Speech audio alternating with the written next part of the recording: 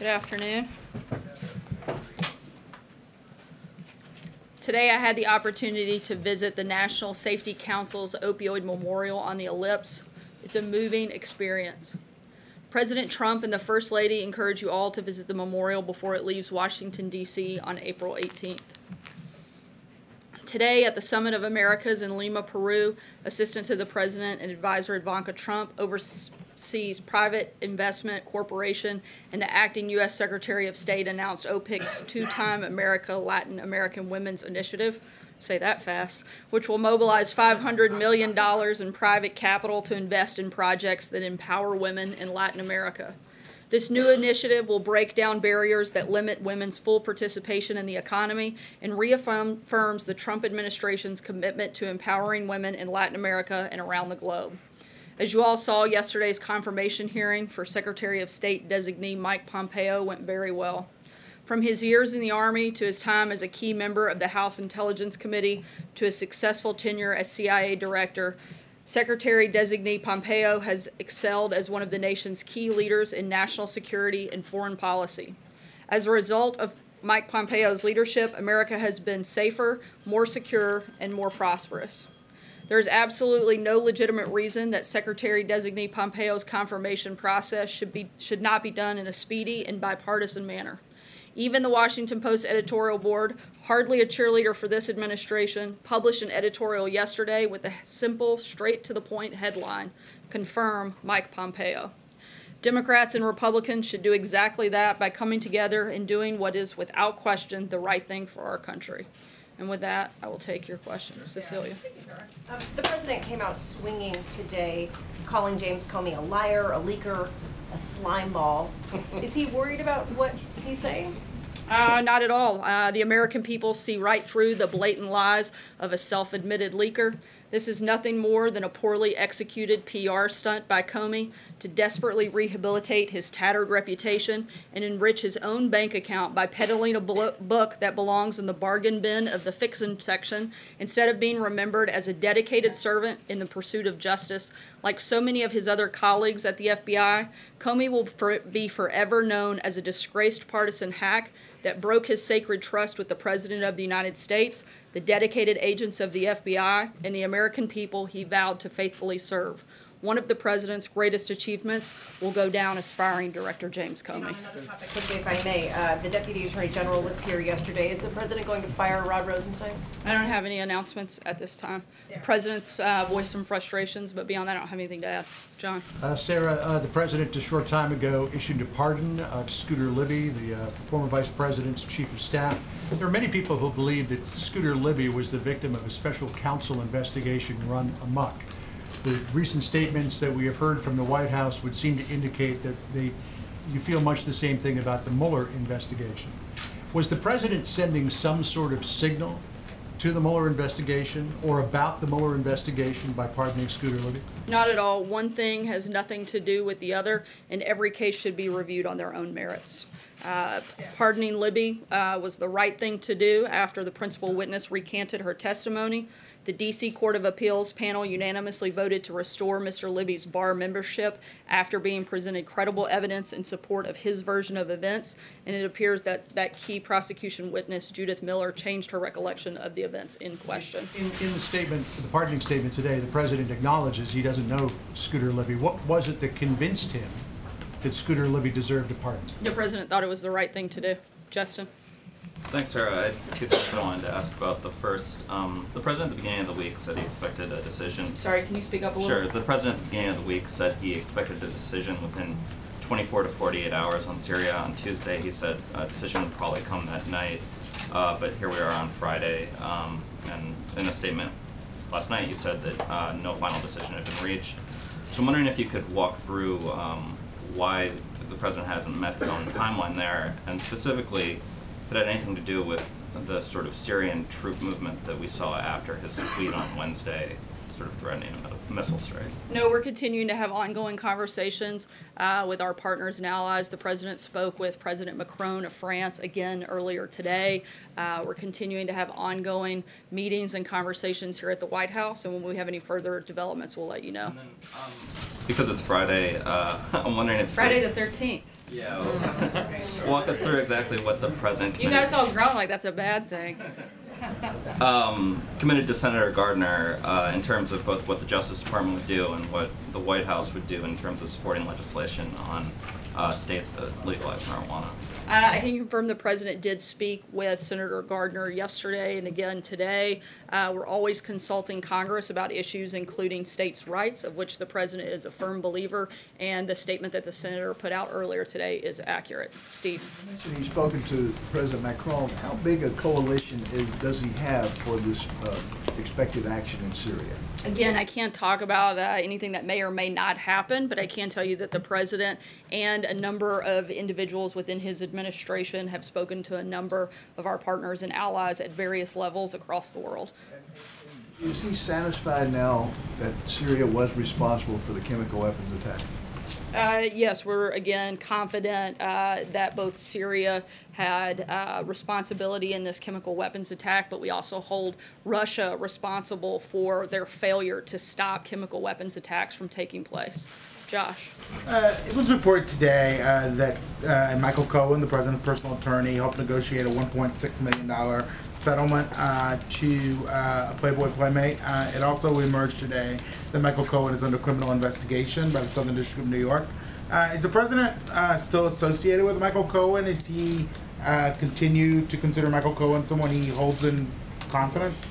Uh, I know that the president has worked with him as a personal attorney. Beyond that, I, I, I don't have anything else to add about the about these relationship. developments? Does the president like to say anything about them? Look, the president's been clear that he has a deep concern about the direction the special counsel has taken. The investigation started as Russia collusion, of which there was none. The president has spoken on this topic at length, and I'd refer you back to those comments. What about Michael Cohen's actions, though? Does the president have any concerns with those? Again, uh, I would refer you to Michael Cohen's personal attorney that simply reports right now, but I can't get anything beyond that. Jill? A follow-up on that and then another topic. Um, is Cohen still the president's personal attorney? Uh, I'm not sure, Jill. I'd have to check. I wanted to ask. I only speak like- about White House staff. It looks like Paul Ryan uh, just endorsed Kevin McCarthy for speaker um, in a, an appearance or an interview um, with Meet the Press. Does the president believe that McCarthy should be the next speaker? Uh, the president has a great relationship with Kevin McCarthy, but in terms of uh, an announcement about who he wants to see as the next speaker, I don't have any announcements on that front. John? Uh, The James Comey book, some ex- excerpts came out today. Uh, He speaks of the president, uh, writes about the president in very personal terms. Were you surprised by that, but was the president surprised by that? Uh, I don't think we're surprised by the fact that uh, James Comey continues to uh, spread false information. Uh, the guy's known to be a liar and a leaker, and so there's not a lot about James Comey that we would find to be very surprising. Steve? Just really quickly, on the pardon uh, that came out today for Scooter Libby, the president so far in his time in office has issued three presidential pardons. One of those was to Joe Arpaio. Is there a commonality in terms of what the president looks for uh, when he pardons individuals? Uh, again, every case should be reviewed on their own merits, and that's what the president has done in each of those. Steve? Sarah, I'm wondering if the administration uh, has uh, reacted uh, with any message to Moscow after officials there today said that the uh, chemical attack in Duma was faked and staged with Britain's direct involvement. Uh, certainly, our intelligence tells us otherwise. I can't go beyond that, but again, we have a very uh, high confidence that Syria was responsible, and once again, uh, Russia Russia's failure to stop them and um, their continued uh, disaction on this front has been part of the problem. April. Uh, bringing Russia into the Syria equation now uh, cause for the delay in the strike timeline? Uh, again, we are continuing to have ongoing conversations with partners and allies, assess the information, and once a decision is made, we'll let you know. Dave?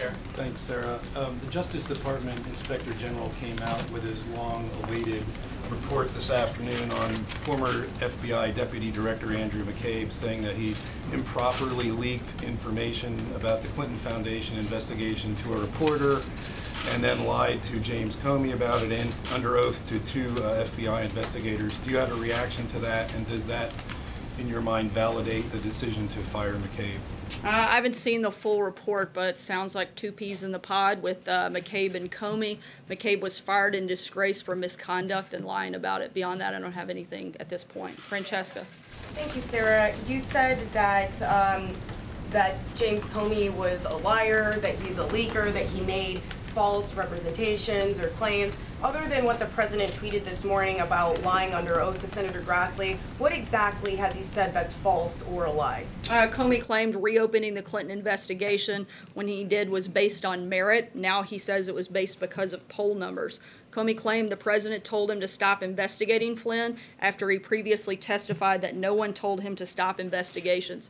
Uh, he also, even the media has reported that officials have determined that Comey leaked four memos, at least four that we know about, with classified information. I think it's very clear that Comey has a credibility problem. The other thing is clear this is one of the few issues in Washington that both Democrats and Republicans agree on. He's been criticized by the legal community for leaking sensitive information, and organizations promoting good government found Comey's leaking grounds for firing.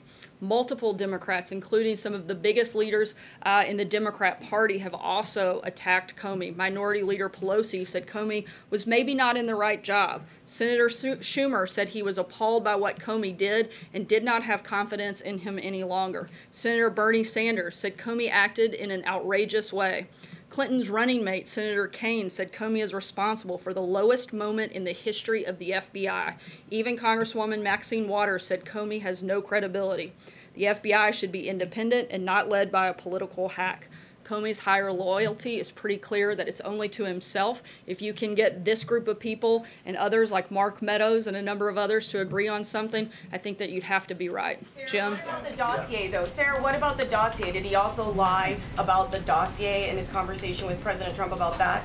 The dossier is false opposition research that was funded by the Clinton campaign to attack the president. It was used illegally to justify spying on Americans. And I think that's quite the problem. Jim? Sarah, What about the the content of the president's attacks on uh, Jim Comey, your, your attacks on Jim Comey? Isn't all of that a bit unbecoming of uh, the presidency of, of this White House to go after him in such a personal way like that?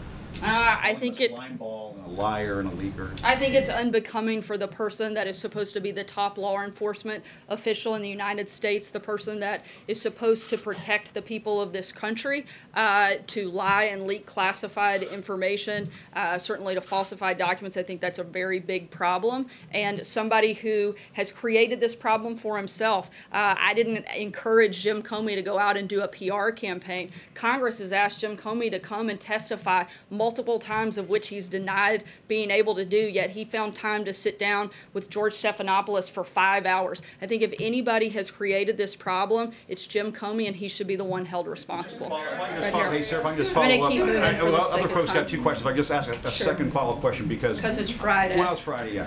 And you've probably. And you'd probably get really upset, and I don't need that if I did. Not at all, not at all. No, but you've probably seen this tweet. It was, it was a tweet that you uh, posted uh, before the election uh, in 2016 when you're attacking FBI agents because you're under criminal investigation, you're, you're losing. Yeah. I mean, What do you make of that now? I mean, uh, isn't The that? rank and file FBI are some of the greatest people in this country. Uh, we've repeated that time and time again, and certainly have the full support of this administration. I think that we've been very clear, though, how we feel about some of the leadership at the FBI, particularly James Comey. When you go after, Go when you go after Sorry. Comey I and did give you two, Rosenstein and Jim. I'm gonna keep doesn't that mean you're losing? Go Following ahead. up on that, I mean, one of the themes of Comey's book is the president's quote disdain for the rule of law and his continued efforts to publicly undermine federal law enforcement officials. So how would you characterize the president's attitude towards the rule of law and things that he says publicly about many of his top federal law enforcement officials? The president has a great deal of respect for the rule of law, uh, but the president does not have a lot of respect for people whose sole job is to carry out the law and they leak classified information and they lie to the American public about it. Charlie? It's his own attorney you, general, it's his own deputy attorney general, it's special counsel, it's the FBI, it's judges who make decisions that he doesn't like. I, I'm sorry, I'm not. What was Those the are, there's question? a whole list of the sort of federal law enforcement officials that he has undermined. It's not just people who have proven to leak information. The president hasn't undermined them.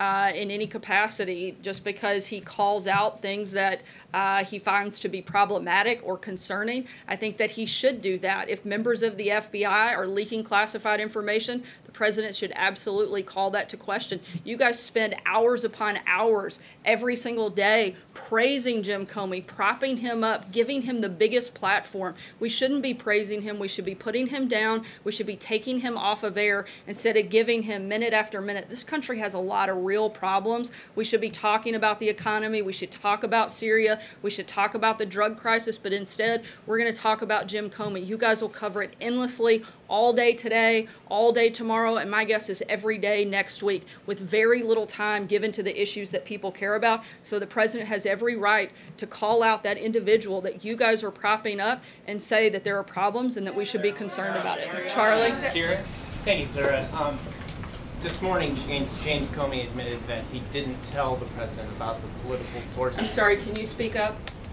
This morning, James Comey said that he didn't inform the president of the political source of the dossier. Was the president surprised to hear that? Did, did, the, did Director Comey ever tell him about the sourcing of the political dossier against him?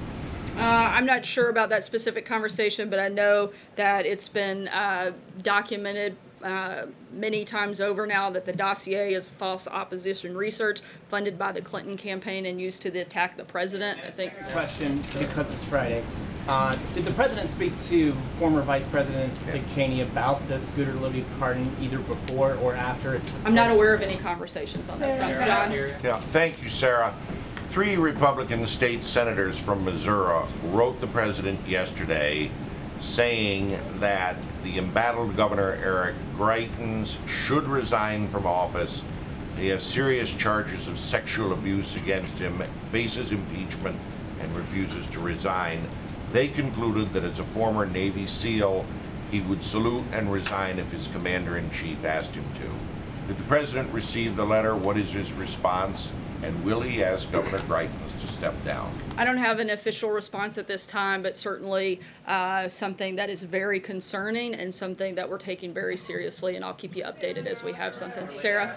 Thank you, Sarah. Um, so concerning the uh, summit with Prime Minister Abe next week in Florida, um, does the president plan to push for a bilateral free trade agreement with Japan? Uh, I'm not going to get ahead of the president's uh, conversations with Prime Minister Abe, uh, but trade will certainly be something that is discussed, as well as uh, the ongoing conversations around North Korea. Sarah, um, does the president um, Sorry, have another NSC meeting today on Syria? I'm sorry? Will the president be having another NSC meeting today on Syria? There is another uh, national security meeting uh, later this afternoon at the deputies level. Aisha? I wanted to ask about the, the pardoning process. It seems like we've had these three pardons. They all were somewhat high profile or had gotten media attention. How is the president deciding when to take action on a case? I mean, with Arpaio, it hadn't he hadn't even been sentenced yet. The the Scooter Libby case was very old. So and so how how are you deciding when to take action on these cases? And can a normal person who feels like they've been like unjustly convicted, can they get their case to the to the White House? I mean, there's a Justice Department pr- uh, process, but it seems like the president is taking special interest in certain cases. Uh, again, the president has uh, exercised constitutional authority, and he determines uh, when and how he's going to use that when it comes to the pardon process. Uh, he looks at each one individually and makes a decision, and we make that announcement. Nadia? Sarah. Thanks a lot, Sarah. Who are you calling, Brian? I was sorry, I was calling on Nadia, and then I'll go to Brian. Oh, Thanks. gonna- all right, thank you, ahead. Sarah. Um, the OPCW is sending an inspectors to Syria.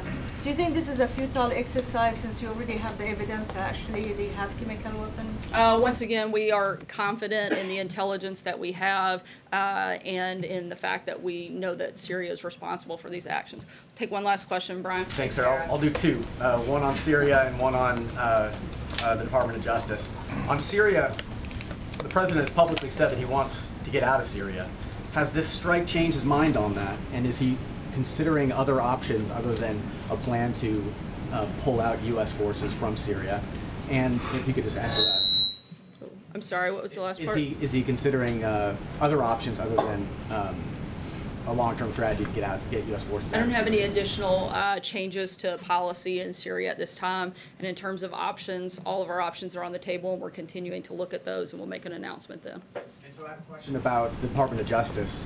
Uh, What does the president have to say to Republican lawmakers who believe that um, firing Mueller would be suicide, as uh, Grassley has said, or firing Rosenstein could mean the end of uh, the president's the presidency for Donald Trump, as uh, Lindsey Graham has said? Uh, I, I'm not going to get into hypothetical situations. The president's taken no action on that front, and I'm not going to get into back and forth on a hypothetical. Response for Republican lawmakers who are counseling him not to take an action like that? Uh, as with a number of issues, the president uh, talks to a lot of different lawmakers on a number of topics. He's going to continue uh, consulting with them, not just on this, but on some very big issues that our country is facing, and that's what his focus is actually on. Thanks so much, guys. Happy Friday.